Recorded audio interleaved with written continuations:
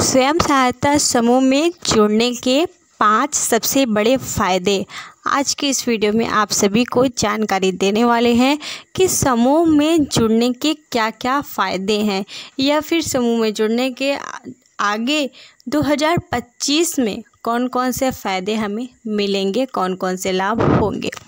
आज के इस वीडियो में जानकारी देने वाले हैं, इसलिए वीडियो को पूरा अंत तक देखिएगा। चैनल पर जो भी बहनें पहली बार आई हैं तो प्लीज़ सब्सक्राइब कर लें, लाइक और शेयर करना ना भूलें। जिन लोगों के, जिन लोगों को स्वयं सहायता समूह की बिल्कुल भी जानकारी नहीं है तो समूह की ऑलरेडी चैनल पर बहुत सारी वीडियो अपलोड किया है हमने।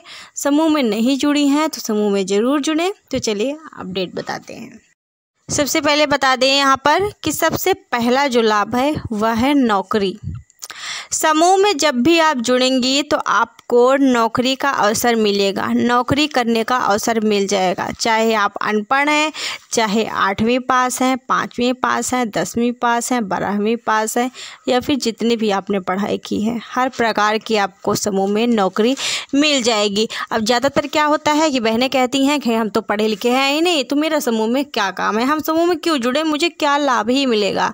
तो ज़रूरी नहीं है कि समूह में जो जुड़ी हैं बहनें, वो पढ़ी लिखी ही होनी चाहिए। अनपढ़ महिलाओं के लिए भी कई सारी नौकरियाँ हैं। अनपढ़ महिलाओं के लिए समूह में कौन कौन सी नौकरी है, वो वीडियो भी मैंने ऑलरेडी बनाई हुई है। वीडियो के एंड स्क्रीन में आपको मिल जाएगी। प्लीज़ आप लोग रिक्वेस्ट करते हैं, देखिएगा उस वीडियो को ज़रूर। जो बहनें अनपढ़ हैं और काम करना चाहती हैं कुछ। तो सबसे पहला लाभ तो आपका यही हो गया कि समूह में जुड़ने से आपको नौकरी का अवसर मिल जाएगा आसानी से।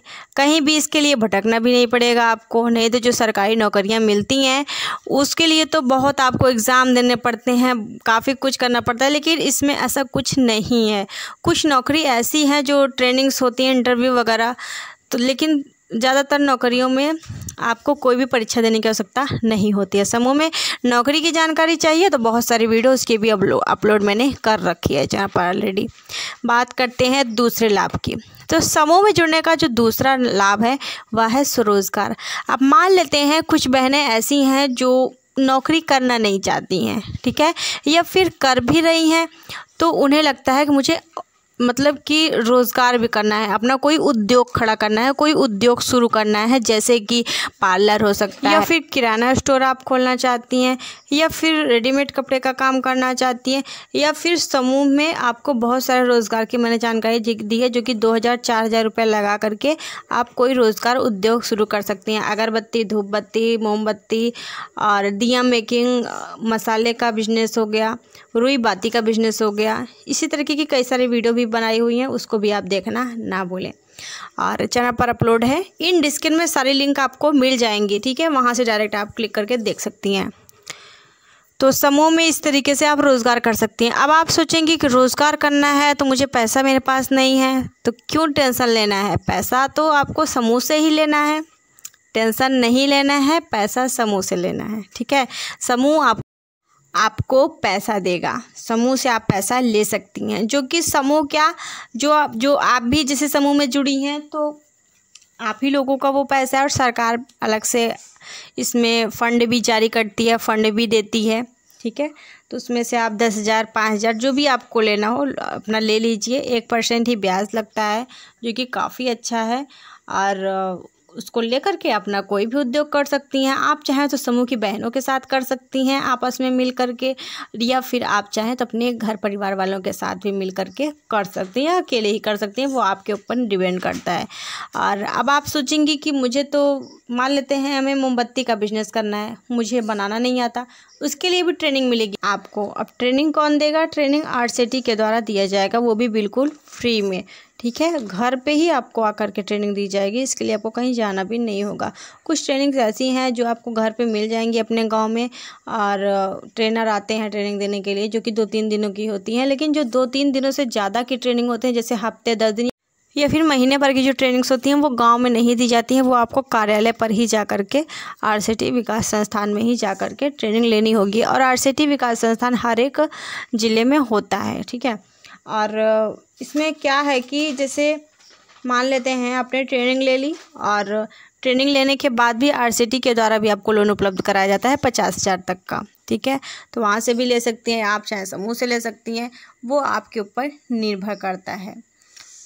कुल मिलाकर आरसीटी से ट्रेनिंग लेने के लिए अगर आपको गाँव में ट्रेनिंग लेनी है तो पाँच दिन तक की जो ट्रेनिंग होगी तो वो आपको गाँव में मिल जाएगी। इससे अधिक ट्रेनिंग गाँव में नहीं मिलेगी, वो आपको आरसीटी विकास संस्थान कार्यालय पे ही जाकर लेनी होती है। तो ये तो दो लाभ मैंने आपको बता दिए, नौकरी, रोज़गार। तीसरा लाभ है जो वो सरकारी योजनाओं का है। जब आप समूह से जुड़ जाती हैं तो विभिन्न प्रकार की सरकार की जो योजनाएँ हैं, उसका लाभ सबसे पहले समूह को दिया जाता है, समूह की बहनों को दिया जाता है। बात करते हैं सरकार की योजनाओं में, जैसे आवास का लाभ हो गया और शौचालय का लाभ हो गया और इसी के साथ साथ जो राशन कार्ड है। अब जैसे कि अब ये नियम आने वाला है बहुत ही जल्द 2025 तक। कि जो लोग राशन कार्ड अपना चाहते हैं या जी मतलब अगर जो समूह से नहीं जुड़ेगा तो उसका राशन कार्ड से नाम कट जाएगा। ऐसा भी सुनने में आ रहा है 2025 में ऐसा होगा। और आयुष्मान कार्ड का हो गया तो इन सब चीज़ों का ऐसे ही बहुत सारी सरकारी की योजनाएँ विभिन्न प्रकार की। उनकी वीडियोस भी ऑलरेडी चैनल पर अपलोड की हैं, मैंने देख सकते हैं आप लोग। तो योजनाओं का सरकारी लाभ मिल जाएगा आपको सबसे पहले। जो भी जहाँ पर भी कुछ लाभ आएगा तो सबसे पहले समूह में आएगा। ठीक है? आपके गाँव में। अब बात करते हैं चौथे लाभ की। चौथा लाभ है कि बचत करना। अगर महिलाओं को जैसे कि पहले क्या होता था? महिलाएँ बचत नहीं करती थी। लेकिन समूह में जुड़ने के बाद महिलाएँ बचत करना सीख जाती हैं। दस दस रुपए ही बचाएँगी आप। इंसान एक एक रुपए इकट्ठा करता है तो वो भी एक दिन बड़ा पैसा बन जाता है, ठीक है? तो दस दस रुपये आप इकट्ठा कर रही हैं और सामूहिक रूप से इकट्ठा कर रही हैं, समूह में रह करके इकट्ठा करें तो इससे इससे आपको बचत करने के तरीके पता चलते हैं। बचत करना आप सीख जाएँगी और बाहर भी आप निकल पाएँगी। जैसे कि समूह में जुड़ने के बाद महिलाएँ पहले घरों में रहती थी, घरों में कैद रहती थी। अब समूह में जुड़ने के बाद महिलाएँ बाहर जा रही हैं, नौकरी कर रही हैं, रोज़गार कर रही हैं, अपना काम खुद कर रही हैं, है ना? तो ये थी चौ था चौथा लाभ समूह में जुड़ने का। बात करते हैं पाँचवें लाभ की। तो समूह में जुड़ने का पाँचवा जो लाभ है, वो है आत्मनिर्भर बनना। समूह में जुड़ने के बाद महिलाएँ आत्मनिर्भर बन जाती है। हर महिला, चाहे वो कोई भी काम कर रही हो समूह में, क्योंकि वो नौकरी करने लगी, वो रोज़गार करने लगी। उसे सरकारी योजनाओं का लाभ मिलने लगा और मान सम्मान भी मिलने लगा चारों तरफ़ से। घर परिवार में भी आपका मान सम्मान होगा। किसी के आगे आपको हाथ नहीं फैलाना पड़ेगा। पैसे की थोड़ी सी भी ज़रूरत हुई तो मुझे समूह से ले लेना है। किसी के आगे हाथ नहीं फैलाना है, किसी से पैसा नहीं मांगना है, जो भी पैसे की ज़रूरत होगी हमें समूह से ले लेना है। घर वाले भी आपकी इज़्ज़त करेंगे, मान सम्मान करेंगे और इसी के साथ आप मेन चीज़ अपने पैरों पर खड़ी होंगी, है ना? आप अपने पैरों पर खड़ी होंगी। और इस तरीके से आपको बहुत सारे लाभ होंगे और सरकार की बहुत सारी जो योजनाएँ आती रहती हैं, हर जगह जो भी काम लिया जाता है, वो सबसे पहले समूह से ही लिया जाता है, उनके भी लाभ आपको मिलते रहेंगे। वैसे तो वैसे तो कहने को तो बताएँगे तो हम आपको और भी बहुत सारे लाभ हैं, लेकिन ये मुख्य पाँच लाभ। तो इस जानकारी को जितना ज़्यादा उसके शेयर करें और भी लोगों के साथ, जो लोग भी समूह में अभी तक नहीं जुड़े, उन्हें जोड़ने का प्रयास करें, क्योंकि आगे भी समूह में बहुत सारे लाभ मिलेंगे, जो कि आगे के वीडियोस में शेयर किए जाएँगे। ऑलरेडी जो अपलोड की हैं वीडियो उसको ज़रूर देखिएगा और चैनल